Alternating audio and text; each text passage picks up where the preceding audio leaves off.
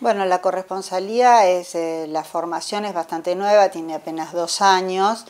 Eh, el Centro de Despachante de Aduana de la República Argentina eh, empezó a generar un plan un poco más federal para juntar a los despachantes de aduana de, las, de los distintos lugares del país para poder saber cuáles son sus inquietudes. Nunca los problemas que hay en una ciudad como Mar del Plata son los mismos que hay en Capital Federal, son totalmente diferentes. Y así ellos van eh, recabando información y tratando de solucionar no solo sus problemas en Capital Federal, sino también los nuestros en el interior.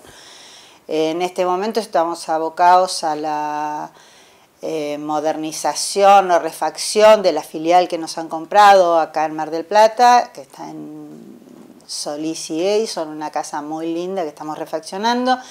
Iniciamos un curso ahora el 16, que es el primer curso que vamos a dar sobre facturación electrónica para todos los socios, no solamente de Mar del Plata, sino los chicos de Necochea también.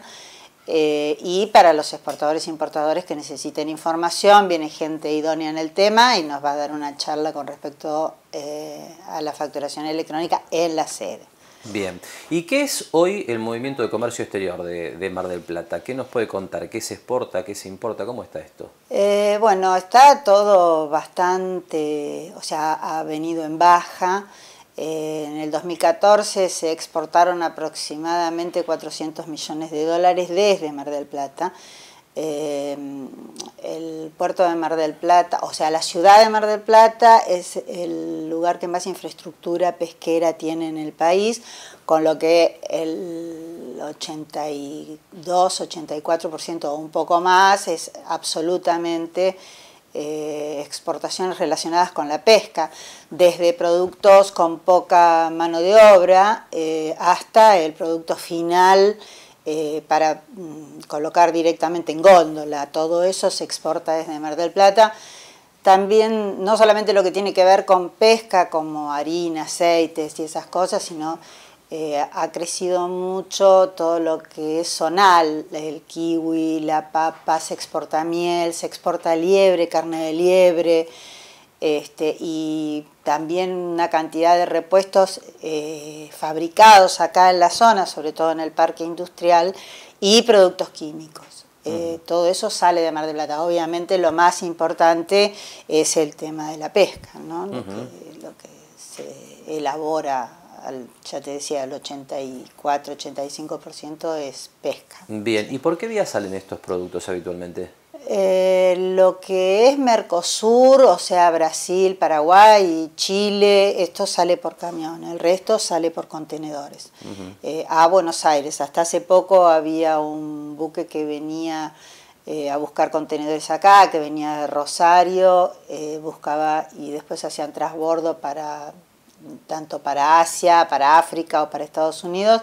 Pero bueno, los problemas del puerto de Mar del Plata con su infraestructura, eh, en este momento impide que el, barco containero entre.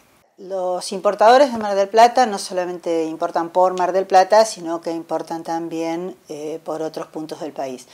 Eh, de todas formas, la diferencia es abismal, son 38 millones de dólares contra 400 millones de dólares lo que se está importando.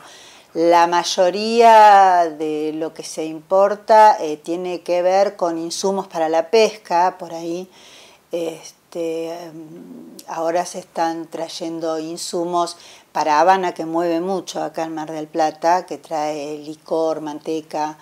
Eh, también se importan eh, gomas eh, de caucho y algunos productos químicos.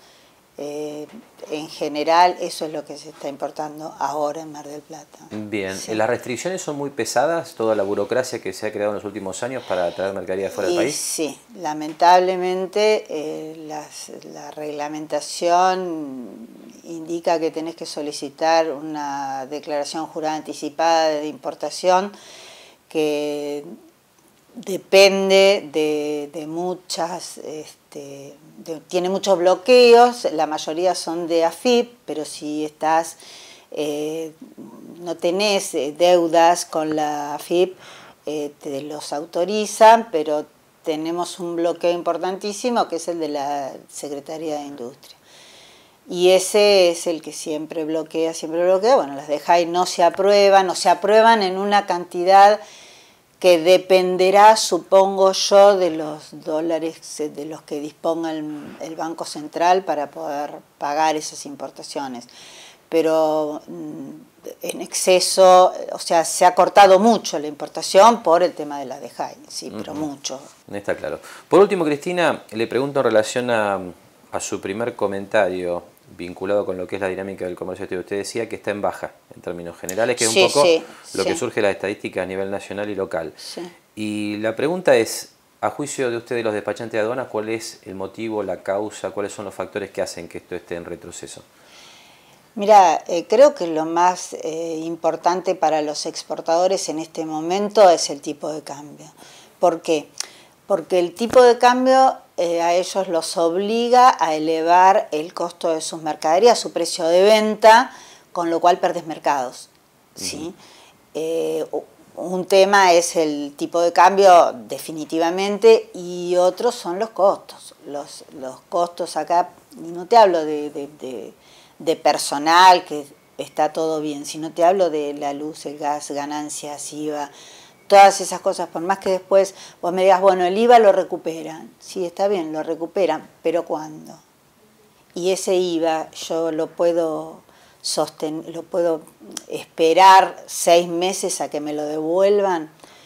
Entonces los exportadores se les ha cortado un poco el ciclo o el flujo de dinero, sí, por el tema de las exportaciones y con el tipo de cambio que realmente este, les, les, les no les llega a cubrir para que ellos puedan exportar a un precio competitivo.